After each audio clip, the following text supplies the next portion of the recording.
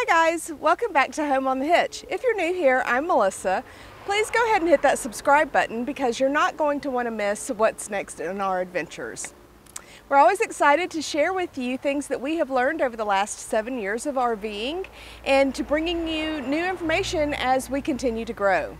Today I want to tell you about this great new product that I discovered at the 2021 Florida RV Super Show in Tampa. Um, so let's get started. So the, this is called the Dock N Stow.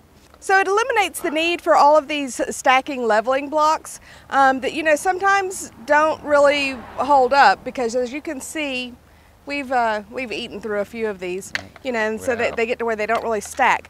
So it's a solid one piece construction. It's space saving by, with a seven by seven inch block. Um, it's lightweight, it's time saving because you can store it right on the frame. It increases the stability underneath your, your tongue jack because you're eliminating the stacking of multiple blocks.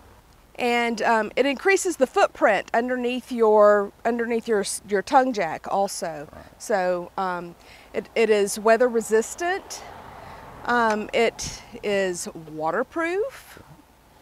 It's durable. Um, it is resistant to UV exposure. Oh, that's good. And mud, um, and it produces a more stable surface For it to for, for your jack to sit on. Yeah. So it's heat resistant and it's resistant to mud and most other environmental hazards. Um, it's versatile. It fits under tongue jacks, wheel jacks, stabilizers, round or square plates, um, and it has spacers that you can attach for, um, for better fits. So this is a three inch wide and by adding the spacers you can reduce it to a two inch frame. So this, this has a screw in the middle so, Okay. so you can remove that if you want to put your, your wheel Oh, like if it's a like a like, like, jack has like a if, wheel if your on tongue jack has a wheel on it. So so like if it's for your utility trailer or boat trailer. or your your um, like scamps Yeah, or or you know um, pop up campers. Yep. So it's So- gonna work with those two. Yes. So so you would just remove that, um, and also if you have a square. Um, Right. it, it is it's it will fit in that also Okay, and it has good. a lip on it so it's not going to slip Awesome. um, which you know can be a huge problem Absolutely. So um, it's con- the, it's convenient because it's just one block and it is a easy point use of storage because No, you can I store I do like right that. on. so you right know, if, we, if you stop to just grab a bite or whatever, you, all you got to do is snag one of those or two. Do they stack? They do they do stack.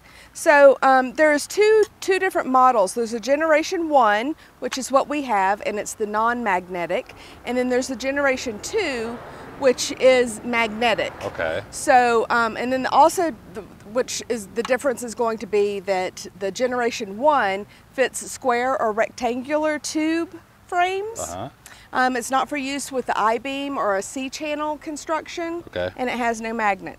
Okay, so the Generation 2 has, um, it fits rectangular tubes, tubes, beams, and a C-channel. Okay. Um, it also has a magnet that's rated for 85 pounds of pull. Okay. Uh, and it must be used with frames that are made with ferrous, ferrous metals containing iron, Gotcha. mild steel, carbon, but not aluminum because aluminum is So it has a, a strong magnet that holds it on primarily on the frame. Right, and then and then with either unit, you're going to want to use the bungee cord that is included on there, just just to give it a little extra security. Cool. So our frame is a two-inch frame, so Right. I had to install both of the spacers Okay, inside, yeah. and they just snap right in, and they Oh. don't come out. So. Perfect. Um, and then it just sets right on top of the frame there. As you can see, it's it's very stable. And then when you add the the bungee cord to the loops, Bungee. Oh, it's not gonna it's not gonna go anywhere. Yeah. So it's just gonna kind of hang out till you need it. Right. And so we have two of them, so you can attach one on either side of your frame, depending upon how much space that you have. Cool. Um, the one thing that I like about having having the two together is that you know sometimes you have to stack six or eight blocks on top of each other. Right. Well, you can just stack the two together and look, it's not going anywhere. All right, so I'm going to show you how easy this is to do because this is sometimes my job. We've got the, I've got the trailer on jack stands, or I've got jack stands here so we can safely lift the tongue jack up. Perfect. All right. So, as you can see, sometimes accidents happen. Yeah. And so this is also to help eliminate that slide on top of on top of the blocks. Because sometimes you're at an awkward angle and your your jack stand doesn't want to want to stay where you put it. Right. All right, so it has the, the center placed in there Got and um, we're just gonna leave our screwed in there because there's no need to take that out. So you're gonna center it up underneath the jack stand. And then we're going to extend the trailer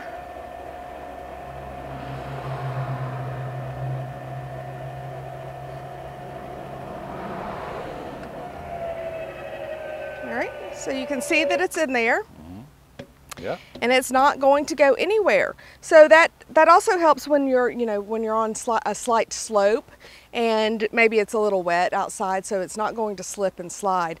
Now these blocks are um, rated for 5,000 pounds and 2,500 pounds for the wheel jack. Um, it is supposed to hold 20% of your tongue, your total gross weight of your trailer. So this should more than compensate for, for any size vehicle that you have.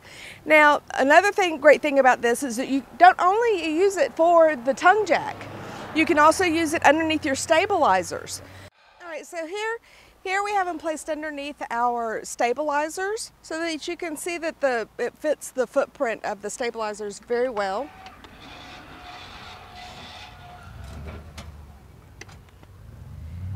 Okay, so I'm going to show you how easy it is to put the spacers in. So you start out with a three inch space and when you add one spacer on each side, it just clicks right in Perfect. like so. This becomes a two and a half inch space. And then when you add the second set, which snaps again, then it creates a two inch Perfect. That was easy. fit. And then they don't come out. Oh, nice. Yep, so it's in So there. make sure you know. Make, make sure you know what size you're using Yeah. before you snap it in Snap there. those in there. Otherwise, um, you know, it might be a little difficult. I met the owner. His name is Mark Gregory, and I also um, met the very enchanting sale, general sales manager, Steve Flynn. Um, and they are the ones that introduced me to their product. Um, it is made and distributed out of Denver, Colorado. The product is available for purchase only online. You can purchase it from their website, which is www.dockandstow.com, or um, through Amazon or any of the big box camper stores. So this is not a paid, promotion by Dock N Stow. They did provide us with the product, but this is our own review and um, evaluation of their product.